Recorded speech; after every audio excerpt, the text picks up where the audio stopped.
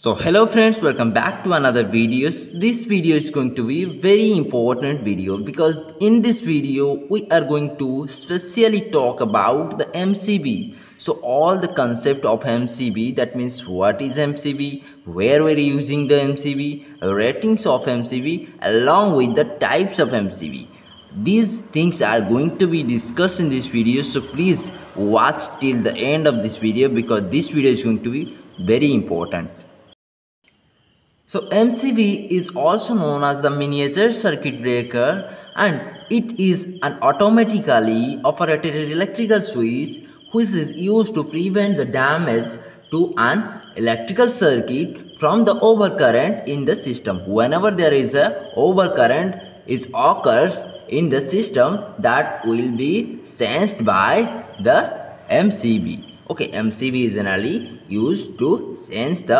overcurrent in the system. So now let's talk about uses of mcb so where you are using the mcb so mcb is used in most electrical appliances that are used for industrial purpose as well as for domestic purpose.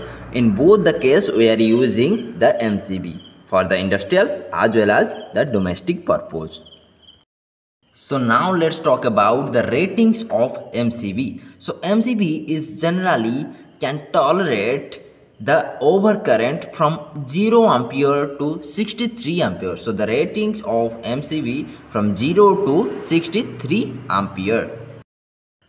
So now let's talk about the types of MCBs that are available in the market. Okay, so there are six type of MCBs available in the market. The first one that is A type MCB, the second one that is B type MCB, the third one that is C type MCB and the fourth one that is D type MCB and the fifth one that is K type MCB, the final one that is Z type MCB. So these are the types of MCB.